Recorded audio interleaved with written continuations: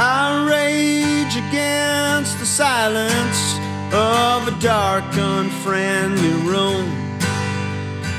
No one cares to notice that I'm drunk and singing